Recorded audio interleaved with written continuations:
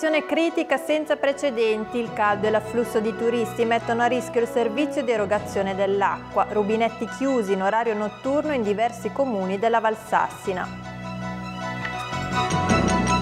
Costruire una seggiovia ai piani di Artavaggio è una follia, lo sostiene Luca Rota, scrittore di libri di montagna che critica lo stanziamento di 11 milioni per le stazioni sciistiche lecchesi.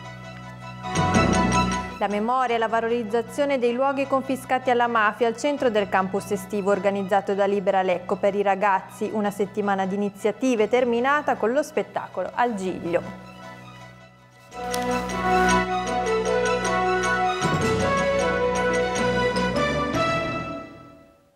Buonasera e bentrovati con l'informazione di Unica TV edizione di Lecco. Torniamo a parlare della crisi idrica perché il caldo e l'afflusso di turisti mettono a rischio il servizio di erogazione di acqua nella provincia di Lecco, una situazione senza precedenti, rubinetti chiusi in orario notturno in diversi comuni della Valsassina e per i prossimi 20 giorni l'allarme è rosso in tutto il territorio. Sentiamo. La situazione si fa critica e per davvero a poco sono servite le precipitazioni delle ultime ore, a poco serviranno quelle previste nei prossimi giorni. Se non si procede con un utilizzo più responsabile dell'acqua da parte di tutti, il servizio di erogazione idrica nella nostra provincia ha serio rischio. A chiedere ai turisti lecchesi un uso più consapevole della più preziosa delle risorse, Radio Reti Holding, i prossimi 20 giorni sono i più critici da questo punto di vista, considerato l'afflusso di turisti che trascorreranno le ferie di agosto nella nostra provincia. La zona più colpita è la dorsale del lago da Colico a Lecco, inclusa Oliveto Lario, e la Valsassina, dove l'approvvigionamento idrico è basato solo su sorgenti locali che non riescono a far fronte ai consumi in crescita per il caldo e per la presenza di turisti. A Suedio, Casargo, Valvarrone, Amoggio, Crandola e Premana. Durante l'ultimo fine settimana è stata sospesa l'erogazione dell'acqua in orario notturno, un provvedimento necessario perché i pozzi si possano riempire durante la notte e garantiscano la fornitura senza intoppi durante il giorno. Diversi comuni hanno quindi invitato i cittadini a un utilizzo ancora più responsabile dell'acqua, niente irrigazioni degli orti, niente lavaggi delle auto e niente piscine piene rispetto a quelle già presenti la scorsa primavera. Un comportamento che l'Ario Reti Holding chiede venga esteso anche ai cittadini residenti in tutte le altre zone della nostra provincia fornite dall'acquedotto Brianteo che pesca dal lago e che dunque, nonostante l'Adda sia ai minimi storici, non ha per ora problemi di approvvigionamento. Più che la pioggia, a contribuire a migliorare il quadro può essere il clima. L'acqua caduta dal cielo impiega infatti almeno tre mesi a penetrare il terreno e raggiungere le falde che alimentano le sorgenti. Se invece la temperatura si abbassa, i consumi si riducono all'istante. Le prime piogge sono annunciate a partire da venerdì. Mai fu così desiderato un ferragosto bagnato. Il suo grande cuore alla fine ha ceduto, Lecco piange Loredana Pini, morta a 74 anni mentre era in vacanza in Sardegna, originaria di Mandello dopo il matrimonio si era trasferita in Viale Turati, ad ucciderla la legionella contratta mentre si trovava ad Olbia. Ha combattuto fino in fondo ma questa era una battaglia più grande di lei, le parole commosse del figlio Francesco. Forte l'impegno di Loredana in parrocchia, in oratorio, nelle associazioni manifestazioni sportive e ricreative del quartiere. I funerali si svolgeranno mercoledì alle 9.45 nella chiesa dei frati Cappuccini.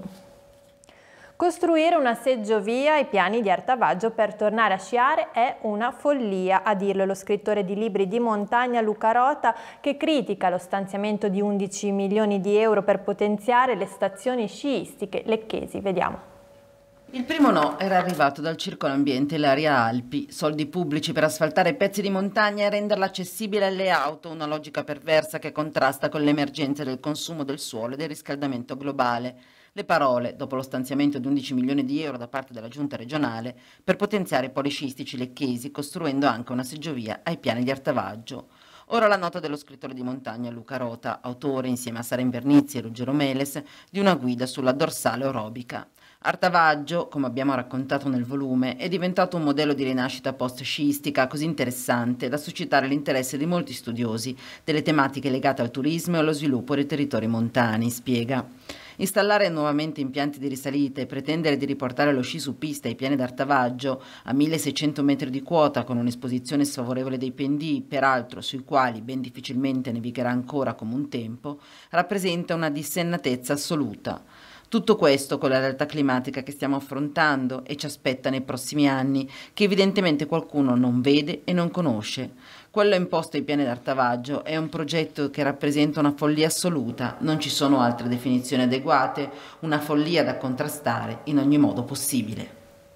Riapre il santuario di San Girolamo a Vercurago, chiuso da gennaio a causa di una scarica di massi nella zona della Rocca dell'Innominato. I lavori di messa in sicurezza sono terminati e a partire da domenica 14 agosto sarà nuovamente accessibile. Dopo gli interventi di messa in sicurezza di tutta la parete, spiegano i padri somaschi, realizzati dalla comunità montana Lario Orientale Valle San Martino, in, a cui va tutta la nostra gratitudine, e terminati quelli di pulizia e recupero delle pareti ammalorate siamo pronti a riaprire i cancelli.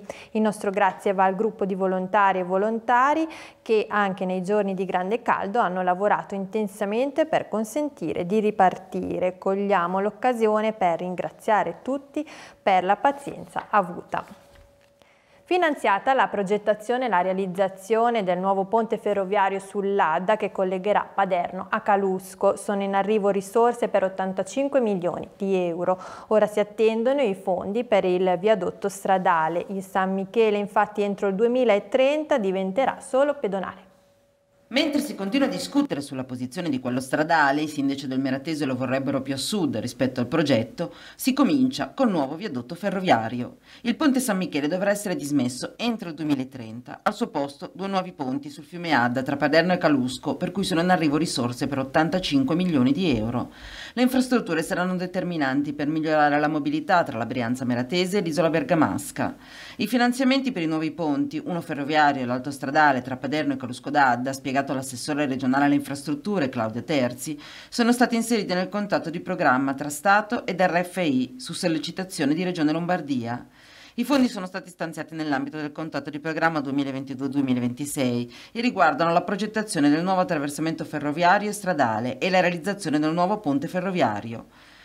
Gli 85 milioni messi in campo, prosegue Terzi, sono un passaggio fondamentale per rendere più efficienti i collegamenti tra Lecco e Bergamo, due tra i territori più produttivi d'Italia e che meritano infrastrutture funzionali. Il nuovo ponte ferroviario migliorerà e velocizzerà la direttrice tra Bergamo e Milano, consentendo anche su quella linea di far circolare nuovi treni acquistati col finanziamento di Regione Lombardia mentre un nuovo ponte stradale porrà fine al collo di bottiglia che genera code, ritardi e rallentamenti. L'attuale ponte San Michele di gran pregio storico, ma inadeguato alle esigenze viabilistiche ferroviarie, resterà un monumento di archeologia industriale, con la prospettiva di utilizzarlo per i collegamenti ciclopedonali. Lo stanziamento, concluso l'assessore regionale, dimostra che il pressing di regione nei confronti di RFI e dello Stato sta ottenendo risultati significativi. Il prossimo passo dovrà essere il finanziamento per la realizzazione del ponte stradale. Ha preso il via come ogni agosto la Sagra delle Sagre, taglio del nastro ieri in Valsassina per la Kermesse, giunta alla sua 57esima edizione e dopo due anni segnati dal Covid si punta a tornare ai livelli di affluenza del passato. Evviva! Domenica 7 agosto si è inaugurata la 57esima Sagra delle Sagre, successo di pubblico, tanta affluenza subito fin dalle prime ore del mattino e parte tutto con i buoni auspici. Sì, è iniziata bene, tanta gente e tanta vicinanza da parte delle istituzioni che non smetterò mai di ringraziare tutti i sindaci del territorio ma anche consiglieri regionali, assessore, sottosegretario e parlamentari intervenuti sono stati un bel, un bel segno di vicinanza che apprezziamo come organizzatori. Quindi anche quest'anno si supererà la presenza rispetto agli anni scorsi? Come nel precampionato tutti si sentono vincitori dello scudetto, poi alla fine solo uno se lo cuce, però le premesse sono buone, la squadra è affiatata e collaudata per cui se il tempo tiene sicuramente sarà una bella sagra. Non è più la sagra di una volta e questo dobbiamo farcene una ragione per qualcuno è meglio, è anche meglio. Se la sagra del 2020 l'abbiamo definita quella del coraggio perché eravamo nel pieno della pandemia e quella del 2021 quella della speranza, nella speranza che alla fine le situazioni si risolvessero, quella di quest'anno per noi è la sagra della riscossa. Quindi ci aspettiamo un gran numero di visitatori e ci auguriamo che questi visitatori portino anche beneficio alle casse dei nostri espositori. Ci sono tantissimi villeggianti, ci sono tantissime persone che salgono la Ballabio tutti i giorni per venire in Valsassina a fare il giro. La sagra con il suo richiamo sicuramente aumenterà ancora di più questo numero di eh, visitatori occasionali che però poi alla fine eh, cosa succede? Una volta visitata la sagra vanno a visitare anche la valle. Sono arrivati da tutta Italia ragazzi che hanno preso parte al campus organizzato dall'Associazione Libera contro le mafie, una settimana di iniziative sul tema della memoria e della valorizzazione dei luoghi confiscati alla mafia. Al Giglio, lo spettacolo conclusivo dedicato a Emanuela Loi. Vediamo. Si chiama Emanuela. È nata il 9 ottobre 1967. Il primo passo nella storia l'ha mosso subito dopo aver finito l'istituto magistrale il suo sogno era diventare maestra. Si è concluso con lo spettacolo dedicato a Emanuela Loi, l'agente di polizia morta nella strage di Via D'Amelio, il campus lecchese di Estate Liberi. Organizzati in tutta Italia dall'Associazione Libera contro le mafie, i campi di impegno e formazione hanno come obiettivo la valorizzazione del riutilizzo sociale dei beni confiscati alla mafia. Tema del campus lecchese di quest'anno, dedicato ai ragazzi tra i 18 e i 25 anni, la memoria del presente. Insieme all'Associazione Culturale e lo Stato dell'Arte, attraverso un lavoro lavoro di recupero di testimonianze, storie, cronaca, una riflessione sul passato per leggere il presente con maggiore consapevolezza. Il bilancio è super positivo. I ragazzi che hanno partecipato sono stati 13 provenienti da diverse parti d'Italia, da Roma, da Napoli, da Torino, eh, da Firenze, da Bologna, ma anche dal territorio, perché da Desio ad esempio un ragazzo, quindi ha veramente coperto uno spettro geografico ampio. Abbiamo dedicato il campo ai temi eh, propri di Libera, che sono i temi dei beni confiscati, i temi della memoria, i temi della formazione e in particolare il tema della memoria l'abbiamo affrontato attraverso il linguaggio teatrale, cosa che era già stata fatta lo scorso anno e l'anno prima ancora, sempre all'interno del campo Estate Liberi della provincia di Lecco. Abbiamo visitato i beni confiscati, il fiore, il giglio, le querce di Mamre e quest'anno abbiamo dedicato lo spettacolo teatrale, cioè il tema della memoria, a Emanuela Loi, a cui il giglio è intitolato.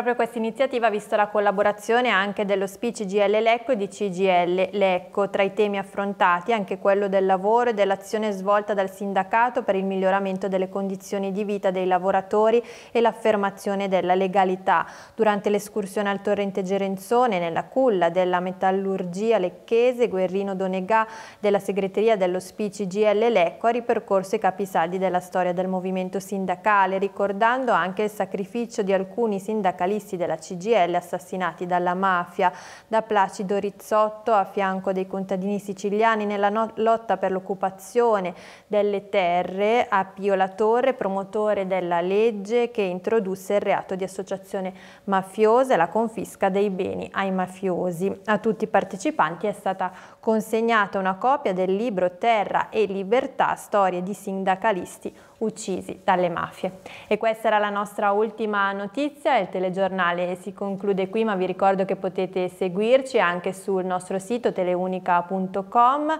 e potete rimanere anche aggiornati tramite i nostri canali social e sul sito teleunica.tv. Vi auguro una buona serata.